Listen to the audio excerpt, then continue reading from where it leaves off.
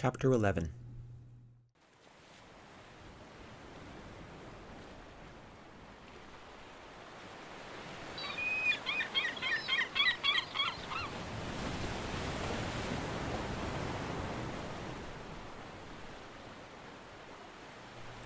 Gunnhild didn't sleep well, but she was sure she had drifted off for at least a few hours.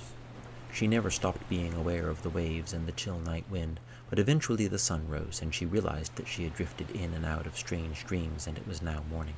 She got up and tried to shake off the chill. She looked up the coastline to the north, wondering if anyone had decided to follow them.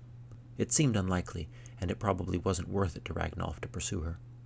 He wanted the farm for his son, the whole farm, without having to divide it. Whether Gunnhild married Gerulf or whether she disappeared, the effect would be the same. With an uneasy feeling, she thought about Rolf and Brunjar, and hoped that Ragnolf hadn't decided to squeeze them out. More likely they would end up fighting at their uncle's side someday. The poets called warriors raven feeders sometimes.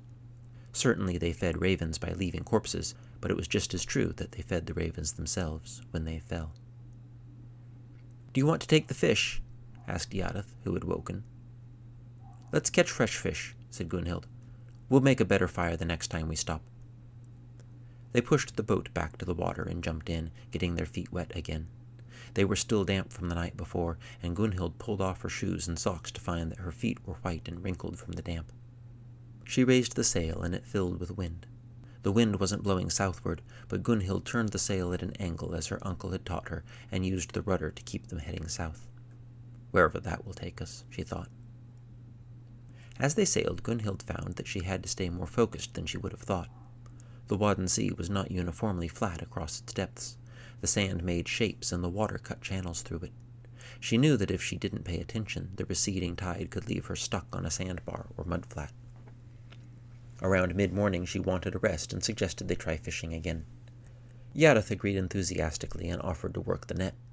When she pulled up the catch, she found an odd assortment of things, including a ray, an eel, and some cod that looked promising.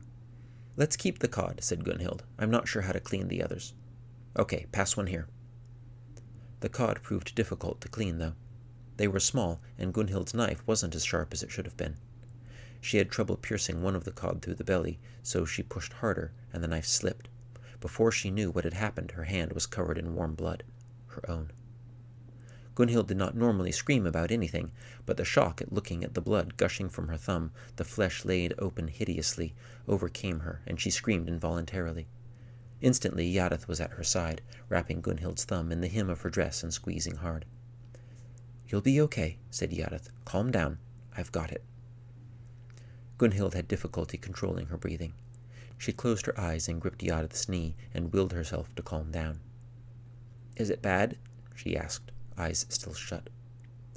It's not pretty, said Eadyth, but it's clean. You need to hold it so I can make a bandage.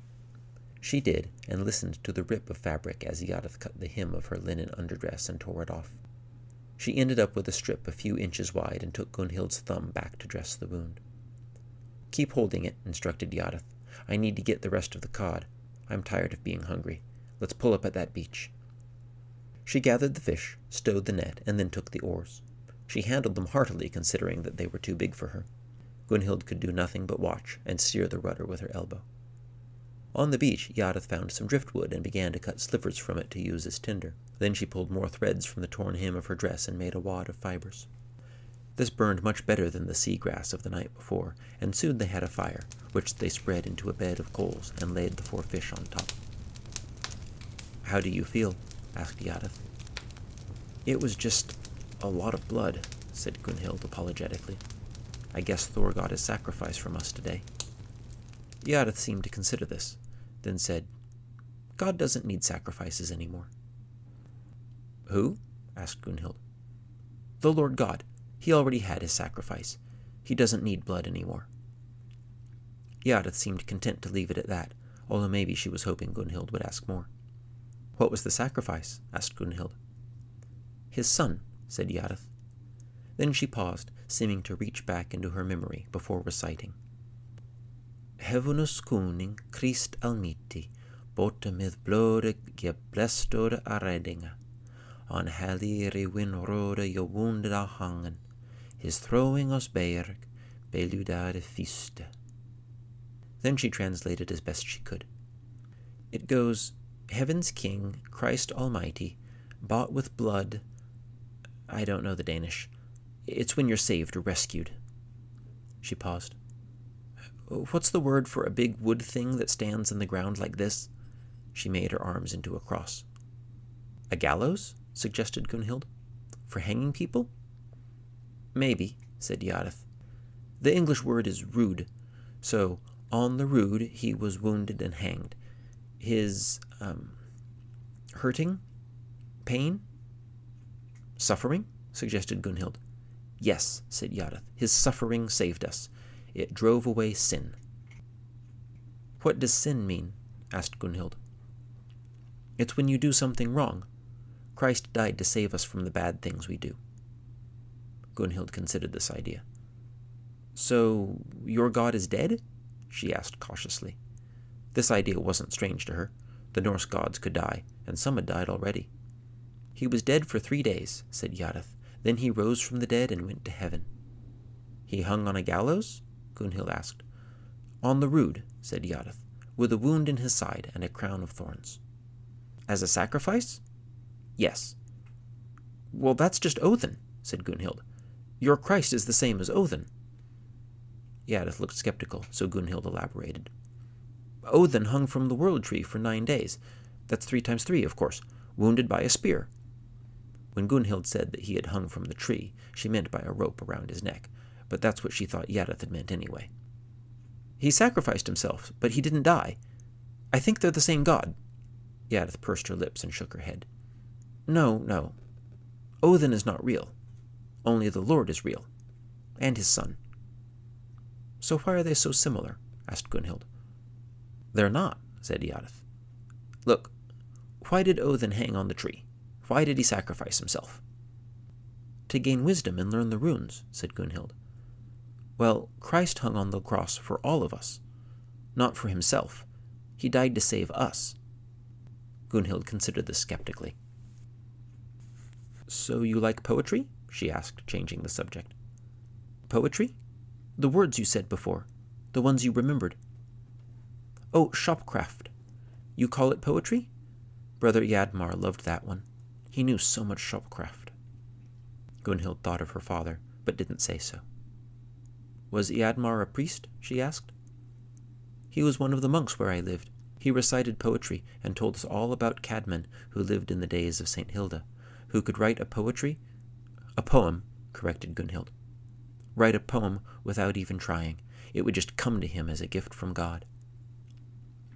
Their fish had cooked by now, and they carefully pulled back the crispy skins to eat the delicate white flesh beneath. Gunnhild was impaired by the bandage around her thumb and kept dropping bits of fish into her lap. She looked at Eadyth's dress where it was torn and splattered with blood, and then at her own green woolen dress, now stained with a large brown blot. Don't we look like barbarians? she asked. Eating on the ground. Look at our clothes. Let's hope we don't meet the king, said Eadyth. Which king? Any king. Eadyth went back to picking at her fish, finishing the first and starting on her second. Gunnhild, however, had stumbled upon an idea. She remembered that Ragnolf had said that no one would take her case before Jarl Thorstein. Ragnolf was Thorstein's man, after all, but there were lords more powerful than Thorstein. There was even a king, King Sigfred. Surely he could overrule a Jarl. She imagined herself sailing back to Ripa with a messenger. No, two messengers, with swords and helmets. They would deliver the king's decision that Gunnhild could stay with her cousins in Ripa, and Ragnolf would have no claim on her. She just needed to find King Sigfred. The man she had met last year who played the lyre, Alvar, he had said that the king was holding court in the south. That was enough to start with. I think I have it, she said suddenly. I know how to go back. We're going to ask King Sigfred to intervene. Realizing that the word intervene might be difficult for Eadyth, she rephrased. We'll make our case against Ragnolf to him instead of Jarl Thorstein. We'll ask for one third of the farm, or what it's worth in silver. It's my right as my father's child. If the king says so, no one can overrule him. She smiled merrily at Eadyth, but Eadyth didn't return the smile. I'm not going back, said Eadyth. Because of Ragnolf? said Gunnhild. He won't be able to hurt you any more, she reassured Eadyth. I'll make sure of that. You'll belong to my mother only, or to me. I'll protect you. I don't want to belong to your mother, said Eadyth, or to you. Gunnhild felt shocked by her ingratitude. She thought of how kind she had been to Eadyth, taught her Danish, helped her with her chores, tried to protect her from the others. But then we can stay together, she said. Ragnolf is cruel, but I'm not. I thought I was your friend.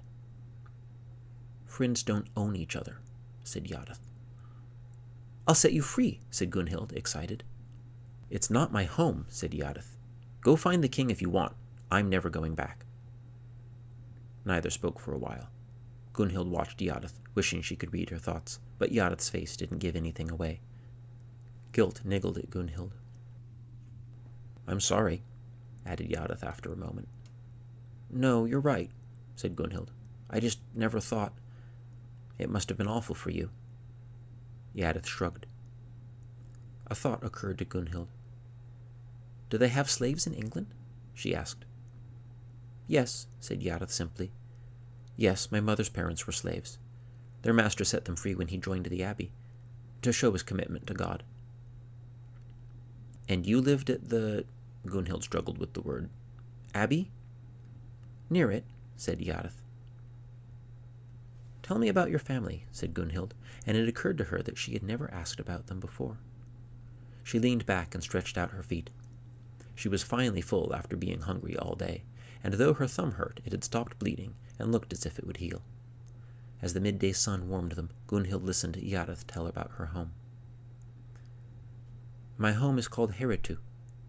Imagine a piece of land that sticks out into the sea. There's a big church that can fit fifty people. Around it are huts for the holy brothers and sisters, monks on one side, nuns on the other. Then there's a kitchen and a scriptorium, a granary and stables. Outside the walls are the townsfolk. There's a road and houses near it. Fields stretch all around, and fishermen fish in the ocean. Most of the families farm or fish, but there's a blacksmith, a baker, and a carpenter, and then we make pots. My father came from a village called Conchester, where his father was a potter. My mother's parents were farmers after they were free. My parents met when my father came through Heritu with his father. They went from town to town following the market days. I have no brothers or sisters. There were some babies before me, but they didn't live. When I was born, my father says, he went to the church at the abbey and stayed all night on the steps on his knees, praying that I would live. And I did. He told me all my life that because of that, he knew that God would always protect me. We work the farms belonging to the abbey, but my father makes extra money from the pottery. Real silver coins sometimes. We keep ducks, a lot of families keep ducks or geese. I'm getting hungry just thinking of it. I haven't had roast duck in. I can hardly remember. Every Sunday we go to church. The Holy Brothers sing, and the priest says the Mass. I can't understand it because it's in Latin, which is the language of God, but then the priest gives a sermon in English. I like Father Alfred's sermons the best. And the singing. When the Holy Brothers sing, that's what angels must sound like. Father would take me with him to the fairs and markets sometimes. He taught me to make pots on a wheel, not just by pinching them. And other girls in the village and I would play games. I could throw a stone at a crow as well as any of them. Or we would sing songs. We would cut an apple in half to tell our futures. I don't remember any of mine now. Then one day I was helping my mother cook, and we heard shouts from down by the beach.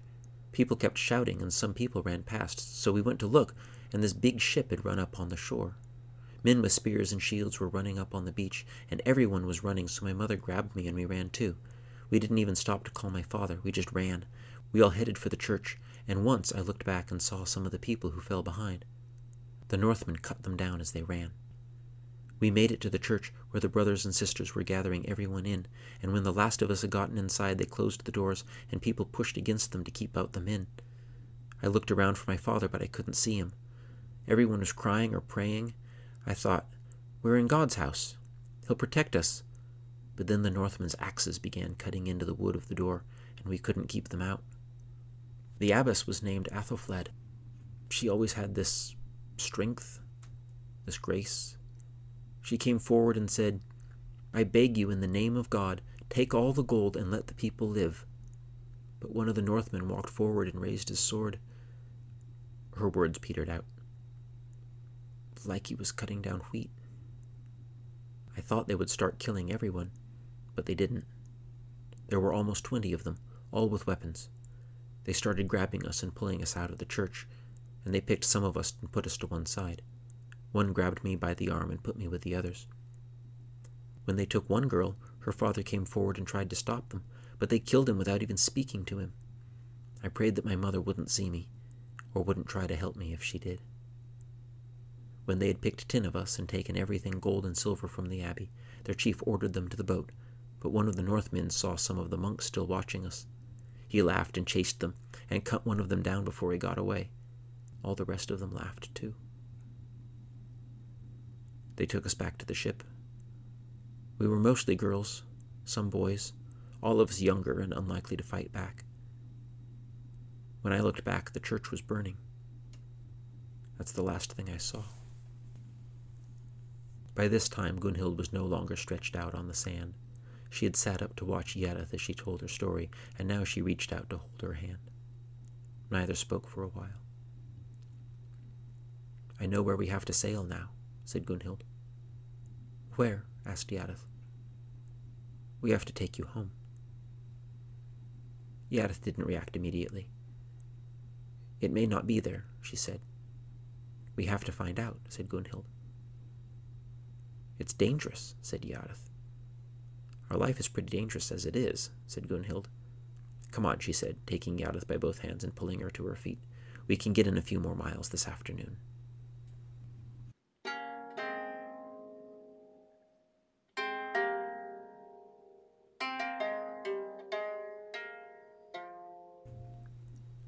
They caught more fish as they sailed and saved them for that evening. They also needed to fill the water skin with fresh water, so when Gunnhild spotted a small stream emptying into the sea, she decided to make camp there for the night. I don't know how far England is, she told Eadyth as they ate their dinner, but I know it's closer to Francia than it is to here. I also know that we can reach Francia if we stay close to the shore and make our way south and then west. If we tried to cross from here, we would probably run out of water. Drinking water, I mean. Eadyth didn't say anything. She had been quiet since their conversation earlier. When we reach Francia, we can ask how many days it is to England, mused Gunnhild, if we meet anyone in Francia. Of course, I don't speak Frankish. Do you? Eadyth remained silent, staring into the dying coals of the fire. Because if it's more than a couple days, we'll need to figure out something else for food. We could smoke the fish, maybe, or trade fish for bread, if we meet anyone. Are you all right? Yes, said Eadyth. Are we really going back? Yes, said Gunnhild. We're really going. Eadyth smiled weakly and rolled over to sleep on the sand. Quiet settled. Then Gunnhild heard a giggle. If we have to cross the open ocean? If it takes more than a day? Eadyth giggled more. What? asked Gunnhild. Eadyth lowered her voice. We'll have to pee over the side of the boat. Gunnhild smiled, then giggled, and soon both girls were rolling with laughter. Gunnhild went to sleep that night smiling, and when the sun rose the next day, and she saw that Eadyth was already up and readying the boat, singing while she worked, she knew she had made the right decision.